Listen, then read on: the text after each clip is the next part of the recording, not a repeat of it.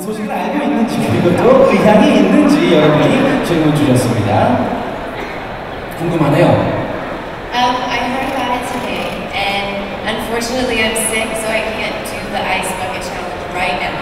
Um, but I will donate and then do it in the future. And if I weren't sick, my plan would have been to ask Rain to be the one that dumped the bucket of ice water on me. Um,